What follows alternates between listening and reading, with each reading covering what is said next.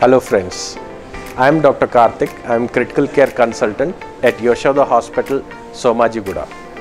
I would like to take this opportunity to welcome you all to the ECMO Society conference, national conference that is being conducted at Yashoda Hospital Hitec City branch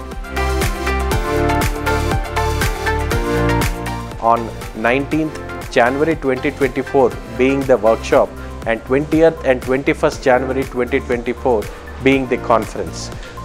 Please avail this opportunity and upgrade all your skills regarding performing ECMO.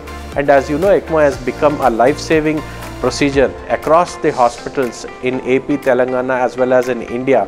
I would like you all to be part of this conference and make it a huge success. Thank you.